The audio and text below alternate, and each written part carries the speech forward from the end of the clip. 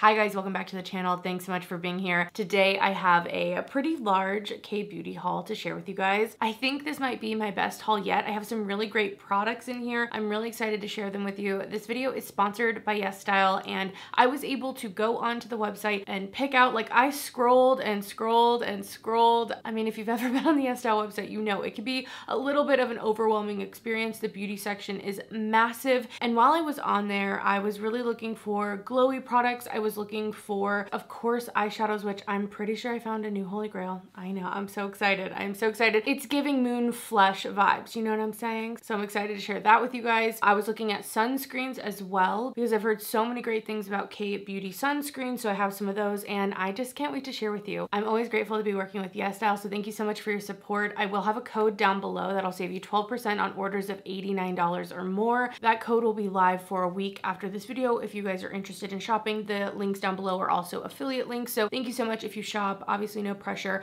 I just love working with YesStyle. They let me do my thing. I was so excited to just kind of be able to pick the products that actually interested me and um, I'm excited to share them with you. So let's just get into it. I'm gonna try to go in like face order in a way.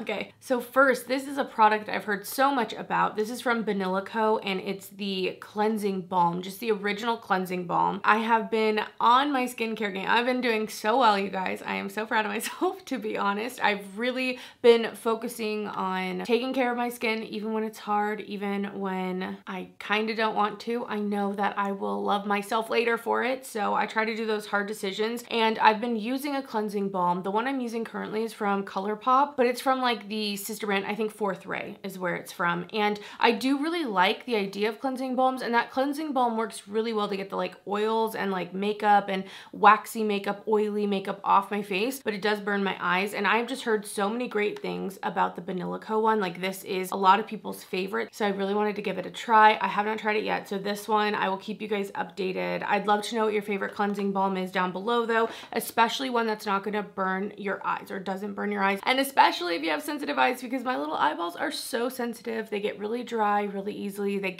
burn really easily, I feel like. So I really hope that one will work for me. And I just really like getting all my makeup off with the cleansing balm and then going in with another cleanser after that to like actually clean my skin. Continuing on with skincare, I did pick up some sunscreens. Like I said, I have again been on my sunscreen game. I don't think in my entire life I've ever applied as much sunscreen as I have this year. I'm not gonna, I don't know, I shouldn't admit that. I decided to try two different ones. This first one is the Canmake Mermaid Skin, I think it is. It's SPF 50 and I'm pretty sure I've had this one before and I remember it not like being like a normal sunscreen. My issues with sunscreen is that they smell pretty horrible, they feel pretty horrible. There are so many issues that I have with sunscreen, but this one I remember liking. I just wasn't being very diligent when I did have it. So I am excited to try try this one. It feels nice and thin, almost on the verge of watery, which I loved. not get me wrong, like I love that. It doesn't really have any smell to it at all, so definitely no sunscreen smell. So I'm excited to give that one another try, especially now that I'm like, I feel like ready for it, you know what I mean? But the other one that I picked up, this was probably the most highly recommended one from you guys. I was asking for some of your recommendations. This is the Beauty of Joseon, I think might be how you say it. And this is the one I used today. The packaging is super simple. Both of these were very inexpensive. I wanna say they were like under $15 a piece, which is amazing, considering I feel like the really big players in sunscreen, like the Supergoop stuff, is pretty dang pricey. I do like it, but it, it is very expensive. When I used this today, uh, again, I didn't have any of the sunscreen smell, so I loved that. It didn't leave a white cast on me at all either. Same with the other one. This also goes on a little bit watery, but when I was putting this on my face, it also started giving me, I don't wanna say it mattified because it wasn't like completely mattifying, but as this dries down, it does kind of give me like a soft, almost like NARS packaging feel, like a little bit of a, a soft soft rubberized feel to my skin,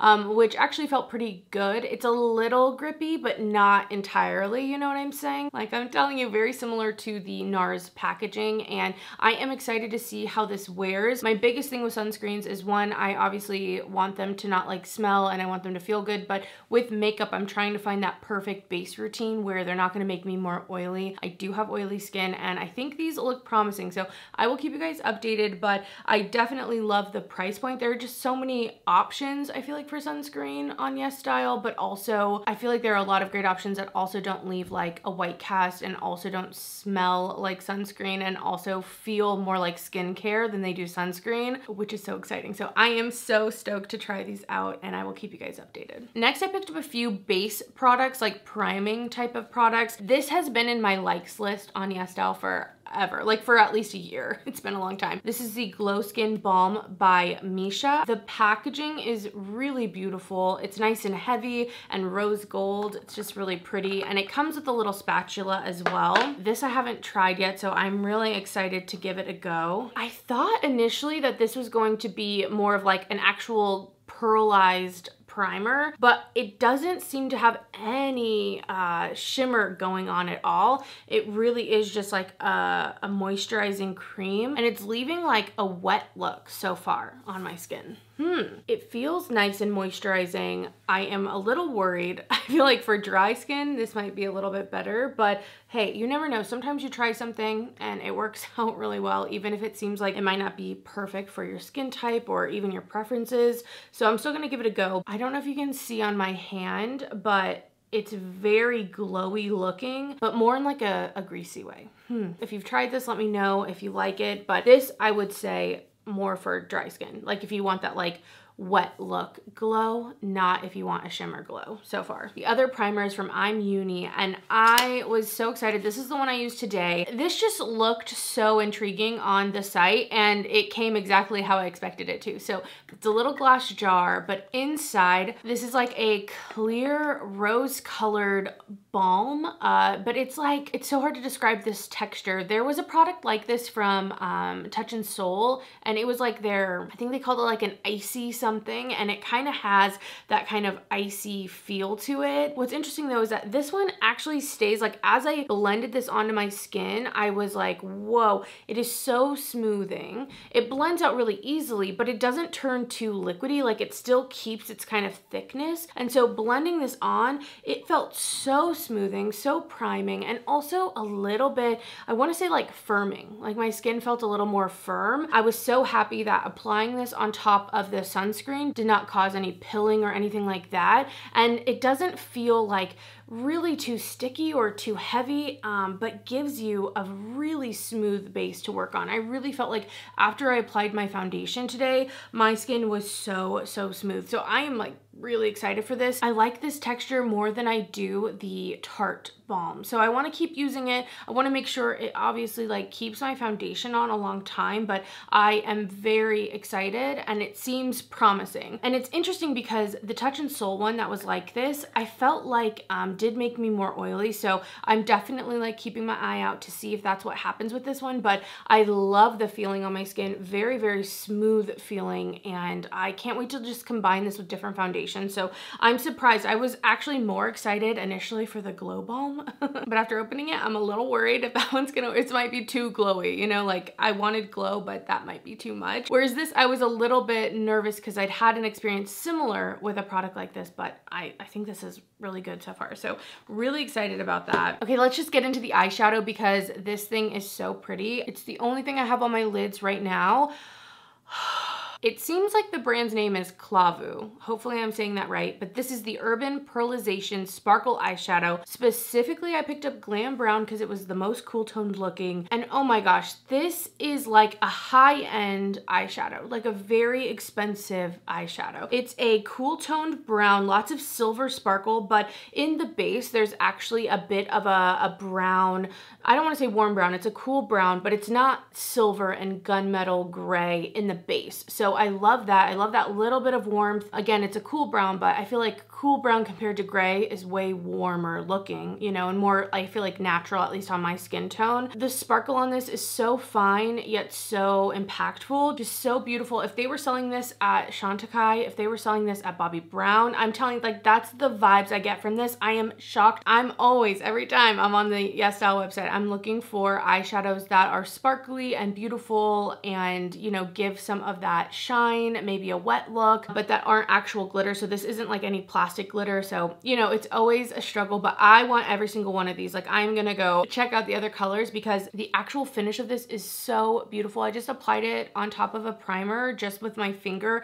It blended out so easy. It's stunningly beautiful and it reminds me very much of my Moon Flash eyeshadow from Holika Holika, which is no longer available. This one's thinner though. I feel like those were a little bit more of those like chunky, almost pressed, not quite pressed pigments in a way, whereas this is like a full-on eyeshadow, but it's easy to pick up product, so it doesn't feel like it's gonna get hard pan at all. And it's nice and thin, and I feel like that's what makes me feel like this is more of like a luxe formula. Like I can get the impact, but the formula is nice and thin. So, so beautiful. Really happy with this. Like I'm telling you, it, it competes with my Bobbi Brown single that I have. And you wanna know the best part, you guys? This is $6 right now on their site. $6.45. Sometimes it's $8.60, but I'm telling you, under $10 for this eyeshadow and it feels like a high-end shadow. Beyond excited about this. I mean, I've found some good sparkles on there, but this is one that I feel like tops so many of the ones that I have. I love the packaging. It's simple, like top notch, top tier. So excited to find this. I think that I have like one highlighter and one like spray and then the rest are lip lip products because K-Beauty lip products are just like some of the best on the market. So I definitely wanted to explore those. But for highlighter, I've been wanting to try this Clio Prism highlighter duo. This one's in the shade Cream Fizz. I'm wearing it today. I did like one side each because it is a duo as the name would suggest. The first thing I noticed about this one, I feel like Clio does amazing packaging. Like everything I have had from Clio just is really substantial and just feels nice. If you guys follow me on Instagram, I opened like a cat like compact and the details are so cute and just, you know, again, really luxe feeling. But for the actual powder, this powder feels so silky. I the only thing that has come close, I feel like, to this feeling are the Hindash powders. If you've ever felt those, um, which you shouldn't really touch those because you're gonna get a ton of hard pan, but they feel unlike anything I've ever felt before, and this feels like similar to that in a way. It is just so silky smooth and soft. There's no real like powder, like fluffy powder on your fingers. It's just so smooth, but it's not hard pan. That's what's so interesting too. Like every time I go in, I can still pick up just as much. It's almost like, is this a cream? But it's not wet feeling. It's just silky smooth. It's so interesting. Like I'm telling you, a formula I've never really quite felt before or experienced before. Beyond the texture and the way they feel, there are two different finishes in here. One is a little bit softer where the pearlized pigments are really uniform and not too chunky. And then there's a little bit more of a sparkly side. I'm wearing the sparkly side over on this cheek. And I feel like even this one though, I mean, I've been really into sparkles lately. like I love a chunky sparkly highlighter at the moment and this feels still kind of subtle for me compared to some of the other ones I have in my collection. Like I like it, but I could go even harder with the sparkle. And then this is definitely more of like a natural sheen and shine. I used that more natural one also on my brow bone today and I thought it looked really good there. I tend to use more natural highlighters on my brow bone where I can get a little bit of shine, a little bit of lift from the light without it being too frosty. So I still need to test this and really get my thoughts on it before I kind of place it in my highlighter collection, but so far promising and definitely unique. So I'm excited to keep trying it out. Last, before we get into the barrage of lip products, this is from Naming. I did show a sneak peek of this on my Instagram because it's just such a beautiful little spray. When I'm looking at YesStyle, one of the things I like to do, because again, like I said, it's pretty overwhelming. I really like to stick with brands that I feel like give me the vibe I want. Like, it's kind of hard to say what that is, but Naming is one of the brands that I've tried in the past and I really like the packaging. It's kind of simple simple, little modern looking. And so I was excited to try out this little spray. This one's the Reflecting Pearl Fixer. I'm gonna actually spray it right now and just see how it looks. But it literally has shimmer all in it. I don't know if I can tell the shimmer right off the bat. So I'll keep you guys updated. We'll see if that's actually good. Like this might just be one of those products that like looks pretty, but who knows? Maybe I'll get into the light outside and look like a Twilight vampire. I guess we'll see, but I don't feel like it did really much. And the smell is kind of um, like the Skindinavia ones or the Urban Decay ones where they just kind of smell like professional products almost, you know? Do you know what I mean? All right, we are on to the lip products. First, I picked up a mask. There honestly are just so many beautiful lip products on Yes Style. I like want to try them all, but this is a mask from the brand Mude and it just looked so aesthetic. Like that was the main uh, reason I want to try this. The actual lip product itself looks like this beautiful beautiful baby pink and I want to see if this is similar to like the Laneige one, if it really like moisturized. I love a lip mask. I'm just a sucker for it and I just love that this packaging is nice and substantial. It's like a glass jar. It's like a cute thing to have on your vanity or nightstand and I feel like specifically with lip masks, I'm using them a lot of the time at night right before I go to bed. This brand, Unleashia, I think is how you say it. This caught my eye. I mean, it has that lime green packaging. You know I want to try it. So I decided to try three of these glossy lips. They're supposed to be non-sticky and they're dazzle tints. I've seen a few of their eyeshadow palettes and I want to try them, but they do have glitters in them. So I've kind of just held off. Hopefully they'll come out with some stuff that doesn't have glitters, but I really loved the packaging and kind of just the vibe of the brand. Once again, like I like finding those brands that I feel like I'm just like vibing with. And this is what I'm wearing on today. So I'll put a little bit more on. I feel like these are what the Rare Beauty lip oils are. Even though I haven't tried those, it's honestly what I've heard and also just like what they look like. Like they looked a little bit more tinted, like still sheer and they leave a little bit of a stain. And so many of the lip products like the Glasting Water Tints from Romand and these seem very much like a glossy, very glossy lip oil stain gloss hybrid thing and those seem more like a lip gloss hybrid stain thing as well. So I'm excited to try these out more. They feel very similar to the Glasting Water tints like they have that kind of plush, watery feeling that is, is not sticky absolutely at all and leaves your lips feeling really hydrated without realizing like how much pigment's coming across. Even once you put them on, like the pigment kind of develops in a way. I don't know how to explain it, but a lot of the different K-Beauty lip products that I've tried that are in this same vein, they give you tons of color, but they're really non-intimidating and that's something I really like about them. But let me know what you've tried from Unleashia as a brand. Like, do you like them? Do you have other recommendations? Please let me know. Okay, you guys ready? I think I found the cutest packaged lip balms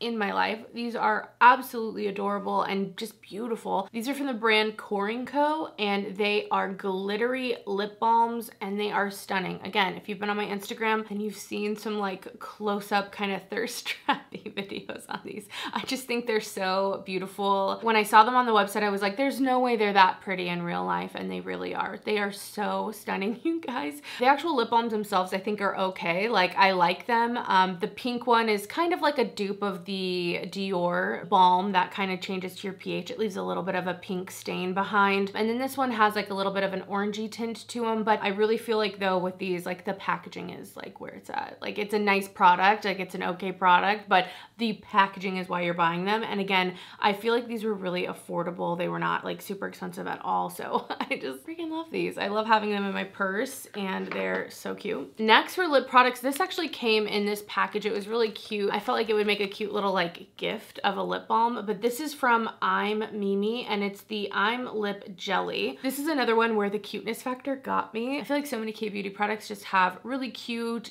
different, like girly packaging and that can be really fun and a lot different than other cosmetics brands, especially like drugstore brands in the US. But this is just like a clear little lip balm and it has little hearts in it that are just kind of floating in there for decoration. But this also does start staining and this one's pretty interesting. Like the pigment starts developing developing and it's a very hot pink, but then it can wash off. Like it stains a little, but not nearly as much as you'd think. I have some products that the moment they touch your skin, like you're done for. They're stained, you're done. Like it's game over, you know what I mean? But this one seemed like the stain was there and then not. I really like that it turns a hot pink. It's pretty fun, really glossy, and a super cute one. I have three more one-off lip products. I told you, tons of lip products. This is from Nature Republic. I got the shade Peach Coral and it's their Lip Rouge. This I have not tried yet, and this is like a balm. What I was thinking with this is I wanted to test it up against the Tower 28 balms that are coming back. I just feel like these chubby sticks are making a comeback. I remember this is like like what I used to like, like the Tarte ones, all that. I would buy like the holiday packs of five. Oh my gosh, I loved them. But I thought this color was just so fun and kind of spicy and summery. And I love a hot corally color for summer. And again, compared to something like the Tower 28 balms, they're more affordable. So I wanted to give that a go. And I have the color that's really similar to this from Tower 28 as well. Next is another lip balm. This one is from YNM and it stands for You Need Me. But I really loved this for again, the packaging. It's like a rainbow glitter packaging. Ooh, and it does that. How fun. It's a little lightweight. It doesn't feel like expensive. It doesn't have a smell on it or anything. So that was just like a fun one. I'll keep you guys updated on how that works for me. I picked up a lip oil because lip oils are all the rage. I have talked about this, but I really feel like lip oils, you don't know what you're gonna get. The term lip oil is so trendy right now that I feel like any lip product that can maybe kind of be under the category of a lip oil is gonna be called that right now just because it'll get people to buy it, you know? Uh, it's just like the trendy thing at the moment. I say all that because I do like lip oils and I wanna try some out, but it's just hard to know what you're gonna get. Every lip oil is different. Some feel like liquid balms, some feel like actual oil, some just feel like glosses. Like it's kind of all over the place. Oh, this smells, okay, I wanna try that on. You can see with that Unleashia color that the stain is definitely still there, but let's put on this lip oil. It has like that big doe foot. It feels like a little bit of a gloss, like a little thick. I thought it was gonna be sweet, but it's really not. Like it doesn't taste sweet. It really doesn't even have that much of a smell of sweetness. Okay, super glossy. And it also has like that thick really plush feeling. It's a little sticky, but not sticky in a bad way, just sticky in a thick enough way where it's really like coating your lips. And I think it's gonna stay on as well. Again, so interesting, all the different textures of lip oils out there in the world. But this is really promising, especially for a glossy, glossy lip. I'm just hoping that I don't get the white ring. That'll be the test. Like that's really the test I have to put all my lip products through. all right, last, a brand that was really catching my eye is Laka. And I picked up quite a few different things because I wanted to try out a few things from the line. You guessed it, another lip oil. This one I actually have already applied and this is more of what I feel like I expect from a lip oil. Like first off, the packaging is so cute. That's one of the things I really liked about it. It reminded me of just things I see on Instagram and I was really excited to try it. I love that it was unique, but this is more of like a thin, glossy oil. It's not super thick. It's not super thin, like not a straight up actual like oil, but um, definitely more of that thinner oil type of consistency. So I'm excited to keep trying that out. But again, I feel like this is the, the prime example of like two different lip oils that are two completely different textures and just like experiences, but they are both marketed as lip oils. I also picked up a lip balm from Laka and look at this packaging once again. Like I just thought it was the cutest thing. I think it is like modern. It reminds me of like the wavy mirrors I see all over places. Like it's so cute. This is a tinted lip balm and I got it in the shade Rosy. The first swipe, oh, I love a tinted balm. Like I just love a sheer tinted balm, okay? That does it for me. I'm so excited to try this on. All the packaging, like this brand I feel like delivers on the packaging, the experience. And then last for the haul and last for Laka, I got three of the Fruity Glam tints. They come in packaging similar to the lip oil, but these have like a frosted base on them, but they have that kind of like asymmetrical cap. Mmm, they smell fruity. They really do smell fruity. Let's try these on too. I got the shade 103 Humming. I got Dreaming 119. I might try that pink one on. And then I also got 101 Joyful. All right, let's go. Let's see. Ooh, it's so hot pink. You can always tell by the doe foot what it's gonna stain as. So it's like a light pink, but then the doe foot's like hot fuchsia pink. Huh, okay. They they smell like green apple. That's what it is. I'm like, what's this fruity flavor? It's so weird because they're kind of like milky. They feel pretty similar to the Unleashia products, which again, feel like the Glasting Water tints like kind of in that vein, where they're almost like a gel on your lips that isn't like drying down. I was a little worried putting it on because it's like this creamy pigment and it looks like, is that gonna be questionable? Like, is it going to show up milky almost like that and kind of look like curdled